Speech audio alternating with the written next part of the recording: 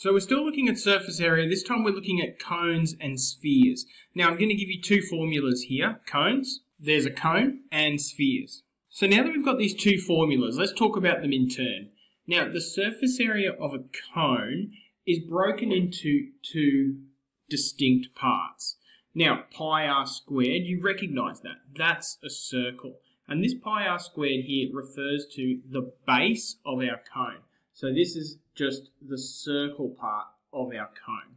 And which leaves this part here, which of course refers to the bit around the outside, the slanted bit around the outside. And the formula for that is pi rs. Now, of course, r means the radius, and s is this thing here, which we'll call the slant height.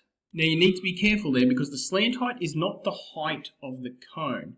It's the, the length from the very tip, if you were to slide down the cone, whee, and hit the base, that's the slant height.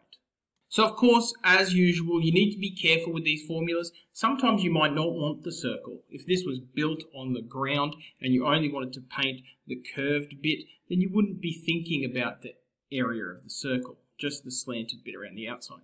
Uh, okay, this one here, the sphere, that formula is just very self-contained, 4 pi r squared. If this is a sphere, you can see this is the area of a circle. The area, the surface area of a sphere is four times whatever a circle with the same radius would be. So this is my first question. Determine the surface area of this cone. Now you can see it has a radius of 3 and it has a height of 4. Now that's a problem because when we look at our formula, there is no height in our formula. Instead, there is a slant height.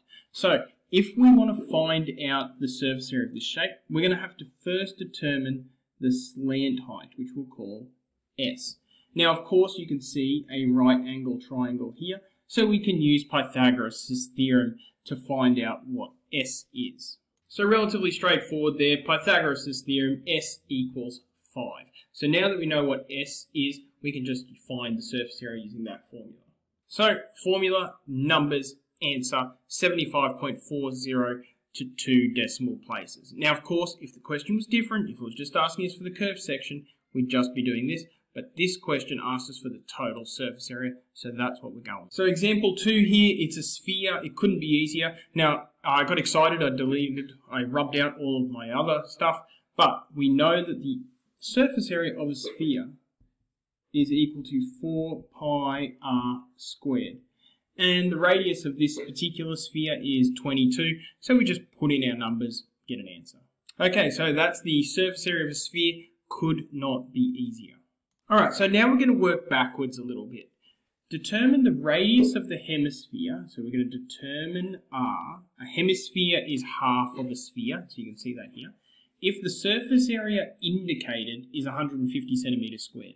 What do I mean by the surface area indicated? You can see I've shaded this outside bit. So we're only interested in the outside of the hemisphere. It doesn't have a flat top on it. The question would be different if it had a flat top on it, but this question doesn't have a flat topper, so the question's not different.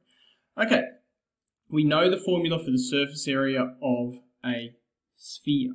That's the surface area for a sphere, which means that the surface area for a hemisphere must be half of that. So we'll divide it by 2. Now, in this particular question, we know the surface area, we don't know the radius. So we can sub 150 in for surface area. So while I did that, while I subbed in 150 for surface area, I also did 4 divided by 2, which left the right-hand side as being 2 pi r squared. Now I want to get the r by itself, so I'm going to divide both sides by 2 pi. And when I want to know what r is, I just need to divide both, oh sorry, square root both sides. So r is going to be equal to the square root. I'm just going to simplify this. 150 divided by 2 pi, that's the same as 75 divided by pi. Now I need a little plus minus here because I'm square rooting that. But I can reject the negative answer because a radius isn't going to be negative. So if you type square root of 75 divided by pi into your calculator, you're going to get 4.87. Um, this is centimeters squared, so the radius must be in centimeters. And that's to two decimal places, of course. Um, now, I did say that the question would be more difficult if we had to consider um, that maybe this is shaded in. So let's have a crack at something that looks more difficult than this. So this is not the same question. The question has changed. This is example 4 now.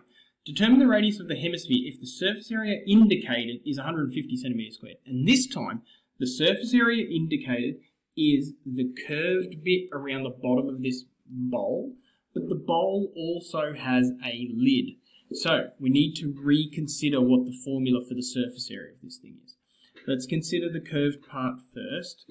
We know that the surface area of the curved part is going to be 4 pi r squared, because that's the surface area of a whole sphere, and then divided by 2.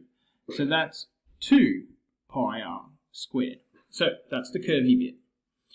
But there's a circle here as well. And we know that the area of a circle is pi r squared. So that's going to give us plus pi r squared there. Now, of course, we know that the surface area of this object is 150 centimeters squared. So let's sub that in for surface area. And now I need to get r by itself. But the problem is that I have this r squared here and this r squared here. So if I factorize this side, I'll get um, r squared bracket 2 pi plus, and then what's this bit? Pi, 2 pi plus pi. All right, wait a minute. 2 pi plus pi, that's 3 pi. So I can just make that bracket 3 pi. And so what I'm going to have is 3 pi, 3 pi times r squared. All right, this looks relatively straightforward. I've got 150 equals 3 pi r squared. And now I can just divide both, uh, both sides by 3 pi, and that'll leave me with r squared. And just like the previous question, I can square root both sides. And when you do that, you get an R value of 3.99 centimeters, of course, to two decimal places. That makes sense. That R value is slightly smaller than our previous example using the same shape with no lid, uh, which feels, feels about right. All right, that's um, surface area of cones and spheres.